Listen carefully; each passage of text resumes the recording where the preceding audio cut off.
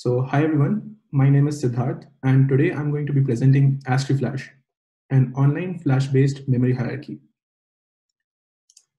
So today, data centers host various popular online services. And because of a big user base, these online services also have big data sets, which are further growing day by day. Already, such services contain terabytes of dataset per server. And moreover, these online services host datasets specifically in memory, so that they can achieve high performance guarantees. As we know, DRAM today is the dominant memory technology.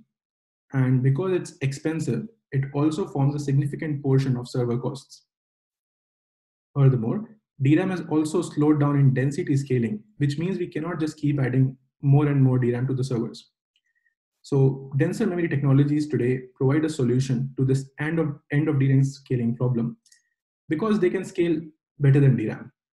For example, NAND flash is roughly 50x cheaper than DRAM, but it's also 1000x slower because it requires 50 microseconds per access. So how can we actually host our datasets in flash so that we can lower our server costs? The traditional operating system abstractions for storage, for example, demand paging, they were originally designed for, designed for disks, which had millisecond scale latency. In this scenario, the software overhead of these abstractions was negligible but when we move to microsecond scale flash accesses, the software overhead of these abstractions itself uh, becomes a key performance bottleneck. Today, I'm going to try to solve this problem by introducing AstriFlash, an online flash-based memory hierarchy that targets DRAM-like performance. AstriFlash attains high throughput using accelerated DRAM side miss handling and maintains tail latency by replacing queuing delays with flash accesses. AstriFlash provides hardware-supported fast path for flash access, where a DRAM cache serves hot data for common accesses. There is hardware support for accelerated DRAM side miss handling, and there are hardware-triggered fast user-level thread switches so that we can efficiently hide flash accesses. Overall, AstriFlash provides a 20x reduction in memory cost with DRAM-like performance. Here's the outline of my talk. First, I'll go over how we can actually replace our DRAM with flash. Then I'll go over some key design aspects of AstriFlash, followed by its evaluation and then a brief summary. As we have already seen, modern online services host datasets in memory specifically for high performance. And such big memory servers are already publicly available. For example, Amazon provides nodes up to 20, uh, which have up to 24 terabytes of DRAM capacity. Unfortunately, DRAM capacity cannot keep scaling with dataset size. And in this scenario, denser memory technologies provide a potential solution because they are cheaper and can provide cap capacity scaling. As we can see in the table, Flash has a 50x cost benefit over DRAM, but it's also 1000x slower. So can our online services actually tolerate this flash latency? There are various online services which have millisecond scale tail latency constraints, which means their service level objective or SLO should allow microsecond scale delays. Therefore, if we carefully architect these services, we can actually tolerate our 50 microsecond flash accesses. But this is also true that we cannot replace all of our DRAM with flash. Flash does not provide enough bandwidth for all our accesses. Moreover, too many flash accesses will anyways violate our millisecond scale SLO. So how can we actually replace DRAM with flash while allowing only few accesses to flash? For this, we have to consider that access patterns for online services are inherently skewed, which means a small fraction of the dataset can actually absorb majority of the accesses. In the given graph, the x-axis shows the DRAM capacity in the system normalized to the dataset size, while the y-axis shows the miss rate for the given DRAM capacity. As shown by the knee point, 3% of the dataset size can actually absorb more than 95% of the excesses and adding more DRAM capacity to the system does not significantly distribute the miss rate further. So how can we actually exploit this skew in building our systems? We can host the hot data, that is 3%, in a DRAM cache. This would mean that we would require 32 gigabytes of DRAM for a 1 terabyte dataset, which brings us 20x cost reduction in comparison to a 1 terabyte DRAM hierarchy. It also means that our common case is fast and we have low access latency, Whatever we cannot find in this DRAM cache can be fetched from flash. And because our flash accesses are going to be infrequent, the bandwidth requirements can be actually met. As we show in the graph, for the same 3% point, we require roughly 60 gigabytes uh, per second of flash bandwidth for a 64 core system. Modern PCIe configurations already provide such bandwidths. So based on this queue model, we roughly have a flash access every 10 microseconds of CPU work. So how can we actually architect our DRAM and flash to be accessed in this model? We know that traditional on-chip cache accesses are synchronous, which means that the cores have to wait for the cache misses to complete. This is done because the out-of-order cores are provisioned with enough resources to hide up to DRAM access latency. However, if we actually do synchronous flash accesses, we will stall the cores for 50 microseconds, which will thus reduce throughput.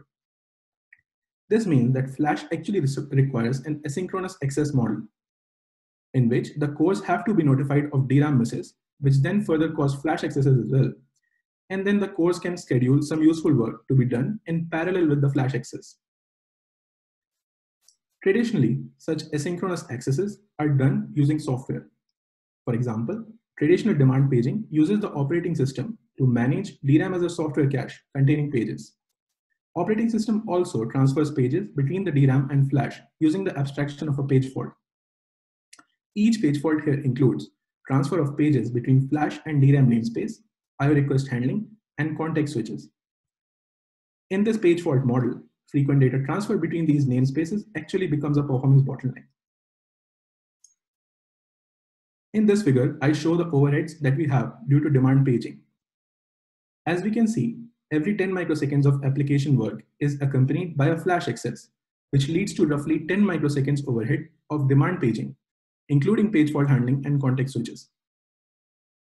However, an ideal system should just execute the application without any overhead for flash accesses. So how can AstriFlash actually remove this demand paging overhead? There are two main key insights in AstriFlash. For the first insight, as we just saw, conventional paging abstractions are not scalable. There is frequent data movement between address spaces, which requires page table modifications, that is a form of operating system synchronization, and broadcast-based TLB shootdowns, that is a form of hardware synchronization.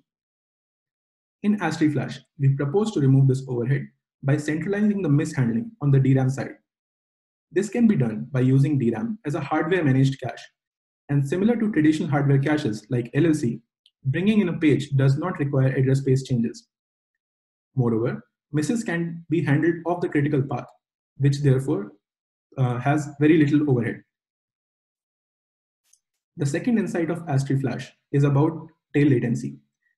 As we know, queuing today dominates the 99 percentile response latency, in the shown graph, the x-axis shows the throughput achieved, normalized to the maximum throughput achieved by the DRAM-only configuration, while the y-axis shows the 99 percentile tail latency, normalized to the average service time of a request in a DRAM-only system. As the throughput of the system grows, the queuing latency dominates the 99 percentile latency, while the service latency is a very small fraction of the overall latency. In AstriFlash, we propose fast asynchronous accesses that can remove the head of the line blocking caused by flash accesses and thus allows the queue to be depleted even while we are waiting for flash accesses to complete. In this way, we can actually replace the queuing delay and instead have flash response wait to, uh, to maintain our overall tail latency. Based on these two key insights, I construct an AstriFlash performance model here. So in the given graph, out of the four modeled configurations, DRAM only represents the ideal behavior as it has low tail latency for low loads and maximum achievable throughput. All the other three configurations require flash accesses, flash accesses and thus their tail latency for low loads worsens by 6x. This constrains the target applications to have an SLO of more than 40x of the average service time. Apart from that, SSD sync and OS swap severely limit throughput because of synchronous SSD accesses and overhead coming from each page fault. In contrast, because of fast asynchronous accesses, AstriFlash achieves DRAM-like throughput and maintains tail latency by replacing queuing delay with flash accesses. So how can we actually implement this model in a real system? We require three types of mechanisms to implement AstriFlash. We require allowing direct flash addressing using virtual memory. We require managing DRAM as a cache and simultaneously interacting with flash. And we also require notifying the software of flash accesses, which has to be coupled with task switching so that we can efficiently overlap our flash accesses with useful work. Traditional systems do this as follows. The flash accesses are done through an IO stack, whereas in AstriFlash, we propose this to be done through a memory mapped flash abstraction. Traditional systems have data movement between address spaces for each page fault, while in AstriFlash, we propose having hardware managed caching. And finally, traditional systems have operating system controlled context switches, while in AstriFlash, we have fast user level thread switches that can efficiently hide flash accesses. Overall, AstriFlash relies on hardware software co-design to achieve DRAM-like performance. Now, I'll further describe each of these mechanisms in a little bit of more detail. So how do we address flash? We require the flash to be exposed to the operating system as a memory device, which means then the application pages can be directly mapped to flash. DRAM here is a transparent cache in the system and is not visible to the application. This is already possible by today PCI, modern PCIe implementations because PCIe allows exposing connected devices as memory regions. This can be done by using the base address registers or bars, which expose the connected devices as a physical address range to the operating system. Using these bar, bars, the PCIe controller can direct the incoming request to the correct device. Next, to manage the DRAM cache, AstriFlash introduces two new controllers, a front-side controller and a backside controller. The front-side controller interacts with the on-chip caches and probes DRAM for hit-miss decisions, while the backside controller interacts with the flash and inserts or evicts pages from DRAM. Based on this design, the figure here shows an overview of the AstriFlash memory accesses. First, the core requests a memory access from the front-side controller, which probes the DRAM cache and declares a miss. The front-side controller then notifies the backside controller of the miss, which can then send, uh, send the same page request to Flash. In parallel, the front-side controller sends a miss signal to the core, which can then switch to another user level thread so as to efficiently overlap the Flash access with useful work. And finally, we receive the requested page asynchronously from Flash, thus completing the overall memory cycle. In this model, the miss handling operations done by these controllers are negligible in latency compared to the microsecond scale flash accesses and therefore have very little overhead. As we just saw, for each DRAM cache miss, we also require triggering user level thread switches. AstriFlash requires hardware support to jump to a predefined software handler, which can then save the context for current thread and schedules the next one. Because we are switching between user level threads, the thread switches are extremely fast and can be done under 100 nanoseconds each. Therefore, using these fast thread switches, we can efficiently overlap flash accesses with useful work and maintain DRAM-like throughput. I'll now show a brief evaluation of AstriFlash. For the methodology, we use a user-level threading library for thread switches and a skewed request distribution for data-intensive workloads. We use small data structures as benchmarks, which are coupled along with the threading library. And for each benchmark, we use a 250, 256 gigabyte dataset, which is hosted in Flash, along with an 8 gigabyte DRAM cache. For evaluating this system, we use Cycle Accurate full system simulation, in which we have 16 ARM cores arranged in a 4x4 mesh architecture. We also have four memory nodes, each with a cache-like structure with 128K sets, four ways, and a 4 KB page as the block size. Finally, we have 50 and 100 microseconds each as flash read-write latency.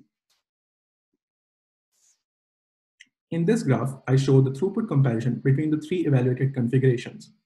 The y-axis shows the throughput of each configuration normalized to the DRAM-only system, which is the ideal throughput. As we can see, SSD sync configuration has, has the lowest throughput because it does synchronous accesses to flash which requires the cores to stop for 50 microseconds for every flash access. Similarly, OS swap also has low throughput because each flash access requires the overhead of a page fault.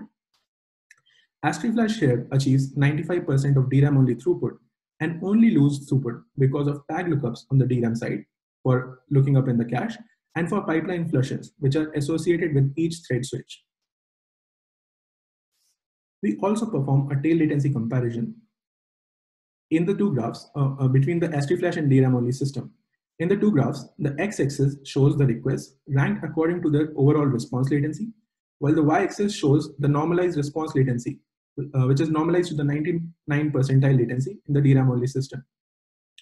As we can see, in the DRAM only system, the 99 percentile latency is dominated by queuing, while the service time is actually a very small fraction of the overall response latency. In AstriFlash, we replace this queuing latency by a service latency, which now includes flash accesses as well. This is made possible because of our fast asynchronous accesses to flash. Overall, based on this model, AstriFlash has only 8% degradation in 99 percentile tail latency. Finally, I'll just summarize the talk. So what we saw is this. Traditional operating system abstractions today are not built for microsecond scale accesses. And for example, in this case, page faults pose a significant overhead per flash access. I proposed AstriFlash, an online flash-based memory hierarchy that employs a hardware-software co-designed fast path for flash accesses and can actually serve data out of flash with DRAM-like performance. AstriFlash reduces the memory cost by 20x compared to a DRAM-only system and thus allows possible integration of denser technologies for future data center servers. That is all I have. Thank you. Thank you very much. Um, this is great. Um, and thanks so much for making it on time. Um, any questions? Um, let me just try to see the chat screen so that uh, if there are any hands here. Um, if you have any question, please raise your hand and I will unmute you. Okay, Antonio. Uh. Hi. Wait, can Go you? ahead. Yes, okay. Uh, thank you for the presentation. I really like it. Uh, I wanted to know, uh, did you try to evaluate your system for different uh, uh, flash latency, starting from uh, like 50, what you were mentioning, and going lower? And if yes, what are the results? Uh, no, so for from the evaluation standpoint, we only tried the 50 microsecond, but I will want to bring the point here that there is uh, we don't design a hardware mechanism around this 50 microsecond latency. It's totally in control of the software because you have to switch uh, user level threads based on that latency, and that can be adjusted quite easily uh, based on the whatever device latency you have. So the same techniques a with a little bit of modification would also apply to let's say faster SSD latencies or let's say non-volatile memory technologies. Yeah, thanks. Great. Uh, any more questions? Yeah, so, so I actually do have one uh, question to you. Um, in the in the system where you have all this back end and front end uh, hardware modifications, yes. uh, so th this effectively allows you to achieve about 20, 25% improvement over swap. Um, I wonder if you considered not adding any hardware and building some lightweight software mechanism uh, that would basically achieve uh, similar results. Yes. Um, so we did not consider a pure software approach here, but one point uh, here would be that the controllers, the front end controller has to be more of a hardware based controller because it is dealing with critical path DRAM accesses. But the backside controller, because it's dealing with microsecond scale flash accesses, we actually propose that it can be built using uh, programmable device technologies rather than actually a hardware hardwired FSM in hardware, right? So it is possible to actually maybe use some sort of a core instead of the controller which runs some sort of software or uh, basically like in a programmable nature. Yes. Great. Thank you. Okay so uh, uh, you know let's uh, thank the speaker. Uh, you know i represent the crowd here. And uh, if you have any more questions please uh, chime in on slack